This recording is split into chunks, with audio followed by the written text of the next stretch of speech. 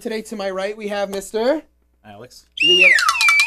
So, Alex, so uh, musician, and uh, we've known each other a long time now. We're both from Connecticut, um, come up in similar scenes. So, uh, what's going on with you right now? What kind of projects you working on? Uh, focusing mainly on solo stuff. Awesome. Um, Yeah, unfortunately, Rusty Things Yes. we love. yes, But- uh, we're on a, a breakup, maybe hiatus thing. We'll see Mhm. where that goes. But uh, for now, yeah, focusing on the, the solo stuff. Well, you got anything coming out? We'd love to have it on. Uh, I've been working on it, so I'll be in touch. Look forward to it. So uh, I brought you on not only because you're an amazing musician and a super nice guy, but I also brought you on because you do something very interesting to me. You started doing your own. I mean, you've been doing this for uh, how long now? My whole life. Your whole life you've I'm- been doing this. Technically, you could call it fourth generation. Fourth generation. So Alex is a beekeeper, apiarist, whatever you want to call it.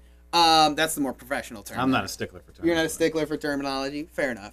Um, but either way, so so tell me a little bit about how you got into um, you know apiaries and like you said, it's a family thing. Yeah, well, like my great grandfather used to do it over in Europe. Mhm. Um, then when the family came over in 40s or whatever, just kept it going. Uh, my grandfather didn't really want anything to do with it, but my dad was really into it. So Wow. he's been doing it his whole life, and then, you know, just I, it's been my whole life. So Well, that's cool, and especially like raising bees is like one of the big problems out there. Like Yeah, if we don't have bees to talks about it, pollinate, you know, you're the one creating them. Uh, so that's great. I appreciate you. Thank you so much for coming in, for Alex. Um, so we got a little bit of video later. We'll show. boost. So then we take the feeder off. And here we go. This is basically it. Um, these are called frames. And that's where all the work's really being done. Now yesterday I took out some frames because they were full of honey. Started the harvest process. But normally these there would be about 9 or 10 of these in here. Now inside here, this is where you see the honeycomb when we put these in, there's a flat sheet of wax in there, and then they draw out that hexagonal pattern on their own.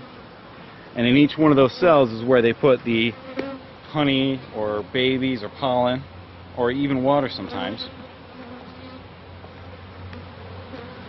And that's where they do all their all all everything basically. That's that's the gist of it. It's a very simple, very straightforward process. It's just, you know, there's a lot of them. So, what would be a small thing maybe someone could take away from what you do, and what would be a piece of advice you'd give someone starting out or trying to get in sort of farming and growing their own food? We can start with uh, we can start with you, Alex. um, the biggest thing is like try not to get discouraged when things don't go your way because you're basically manipulating nature. Yeah, Like yeah, I'm yeah. trying to tell 100,000 bees what to do, and it doesn't always work. Um, and sometimes they fight you back. Yeah, So, yeah. um, there's a lot of times where like all that work, and not, but you know, you just keep going at it. You try your best, and you eventually, odds are, it's going to keep going you keep trying.